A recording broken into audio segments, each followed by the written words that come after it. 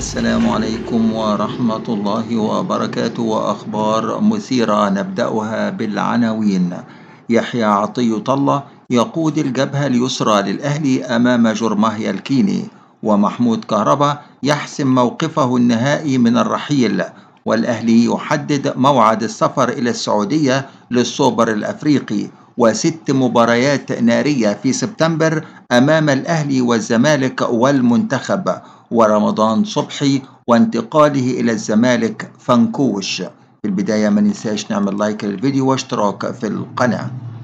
استقر مارسيل كولر المدير الفني للنادي الأهلي على الدفع بالمغربي يحيى عطية الله الظهير الأيسر الجديد للفريق في مباراة جرماهيا الكين الافتتاحية في دوري أبطال أفريقيا والمقرر إقامتها يوم 15 من سبتمبر الجاري حيث ستكون أول مباراة رسمية للاعب المغربي مع النادي الأهلي يحيى عطية الله بعد التعاقد معه لمدة موسم واحد فقط على سبيل الإعارة. وأكد مصدر داخل الأهلي أن هناك تحركا في الوقت الحالي للتعاقد مع صفقة أجنبية جديدة في ميركاتو الصيفي الجاري من أجل قيدها قبل إغلاق باب الانتقالات الصيفية على صعيد القيد الأفريقي يوم 12 من سبتمبر. وقد أكد مصدر أن الأهلي يسعى للتعاقد مع جناح لتدعيم هجوم الفريق مع الوضع في الاعتبار إمكانية ضم مهاجم جديد حال عدم حسم صفقة المهاجم حيث يتبقى مقعد واحد فقط في قائمة الأجانب ويفاضل الأهلي بين مهاجم أو جناح أجنبي. وقد كشف المصدر داخل الأهلي حقيقة مفاوضات ضم التونسي محمد علي بن رمضان لاعب فرينكفاروش المجري مؤكدا عدم دقة هذه المعلومات بعد فشل الصفقة من جديد.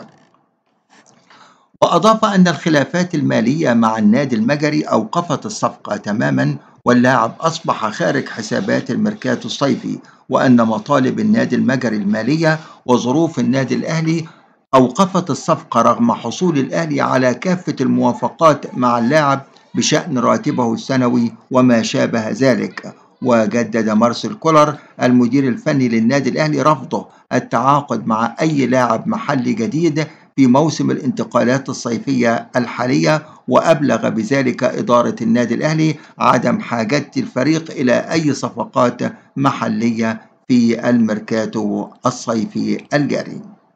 محمود عبد المنعم كهرباء. وقد حسم محمود كهربا نجم النادي الأهلي موقفه من الرحيل إلى الدوري السعودي في الانتقالات الصيفية حيث الأهلي تلقى أيضا عرضا من الحزم السعودي خلال الساعات الماضية للتعاقد مع نجم نجوم النادي الأهلي محمود عبد المنعم كهربا. قالت مصادر مقربة من اللاعب أنه أبلغ مسؤولي الأهلي برفض العرض السعودي والتمسك بالاستمرار داخل جدران القلعة الحمراء في الموسم الجديد. وهذا ما أكده المصدر أن سبب رفض اللاعب محمود كهربا للعرض السعودي هو ضعف المقابل المادي بجانب حصوله على وعد من السويسري مارسيل كولر بالتواجد في المباريات بشكل كبير. ويستعد النادي الأهلي إن شاء الله لمباراة جورماهيا الكيني يوم 15 من سبتمبر الجاري في ذهاب دور ال 32 من بطولة دوري أبطال أفريقيا. المباراة الساعة 3 عصرا إن شاء الله على ملعب نيايو في العاصمة الكينية نيروبي.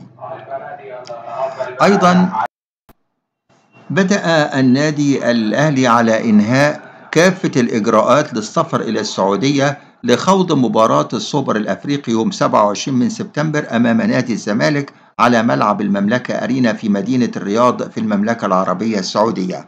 ويقوم الجهاز الإداري بإنهاء إجراءات السفر وحجز فندق الإقامة وغيرها من الترتيبات وينوي الأهلي السفر إلى السعودية يوم 24 من سبتمبر الجاري. وبدأ مسؤول النادي الأهلي مخاطبة الجهات المعنية لحضور الجماهير مباراة الإياب لجرماهيا الكيني في دوري أبطال أفريقيا والمقرر إقامتها على استاد القاهرة من أجل الحصول على موافقة المسؤولين بحضور السعة الكاملة أو على الأقل خمسين ألف مشجع للمباراة.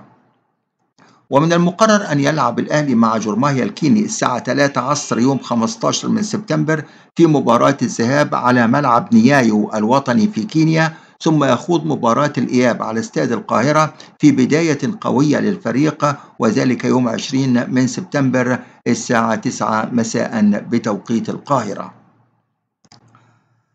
مباريات نارية وقوية للنادي الأهلي والزمالك ومنتخب مصر وست مباريات نارية في شهر سبتمبر الجاري حيث تقام ست مباريات من العيار الثقيل في تصفيات كأس أمم أفريقيا 2025 ودور ال 32 من بطولة دوري أبطال أفريقيا وكأس الكونفدرالية.